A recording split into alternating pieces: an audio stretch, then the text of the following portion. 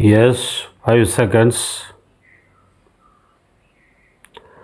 Start. Friends, I am very happy to meet so many of you who are working in this university and in its branches. It is a matter of joy for us that you people are getting the best training possible in the several subjects of your choice. You have greater opportunities than many of your fellow countrymen who have not got the privilege of coming out and getting trained by very competent men in such parts of England. I hope you are taking full advantage of your opportunities and when you return to our country, I hope you will be of great service development of our country. As you know, after we obtained our independence, our next problem was to fight poverty, to fight hunger and other evils from which millions of our people suffer. And we can remove these things only by the application of science and technology to agriculture and industry. And you who have come here, I have no doubt it will be of considerable use to us when you get back to our country and try to help us in rebuilding our economy. I was gratified here to see so many of you from so many parts of our country, and it gave me special satisfaction to see a number of people from other countries who are also getting training here. It is a matter of great pleasure for me to see that you are all working together here in a spirit of understanding and harmony. It is my hope and desire when you return to our country, you will forget your small differences of province, religion, language, and districts from which you come and work together as belonging to one great country which has, in spite of all the changes through which it has passed, a great tradition that has come down. It gives you a sense of satisfaction that you are able to encounter all the troubles that faced you, able to survive and able to stand up even today to be a nation which is able to contribute its might to the development not only to the country but of humanity at large. That is what you should work for.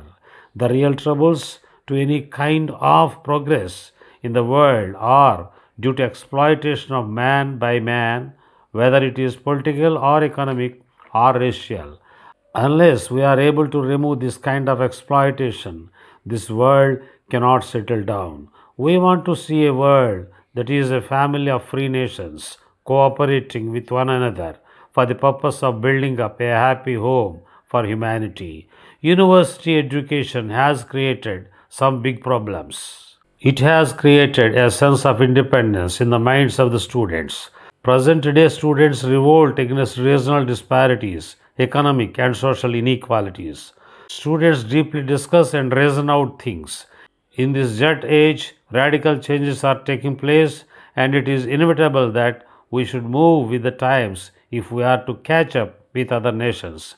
It is the duty of the elders to understand them and appreciate their viewpoint. Mere sympathetic words will not solve the problems, but on the other hand, they create problems. We must look at things in a creative spirit and put the young men and women on jobs and give them ample scope to develop their personality in a right spirit. This will certainly help the nation. In this connection, it may not be out of place if a mention is made to the importance of discipline among younger generation. Of late, it has become a habit among student population to indulge in purposeless antisocial activities. All of you should realize that every hour and day you lose will be a permanent loss in your life.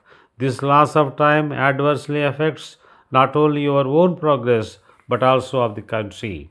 It is Indian in its outlook and in its spirit, and every one of us must try to see the spirit of that culture which accepted differences, which never looked upon diversity as a source of discord, but look upon diversity as something which contributes to the richness of the world.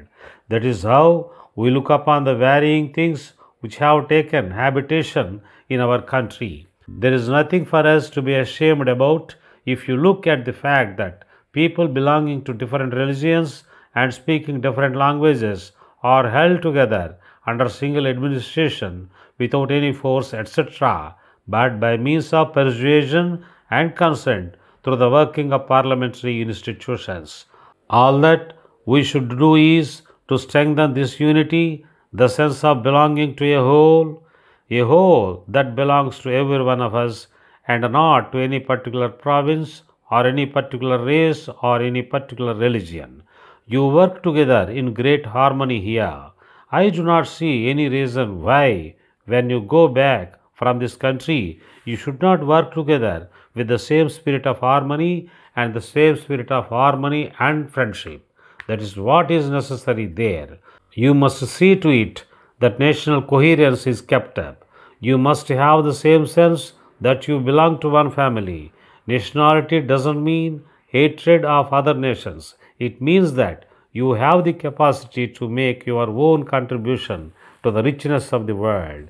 It is that idea you must bear in your minds. You must have your nation and feel proud that you belong to it.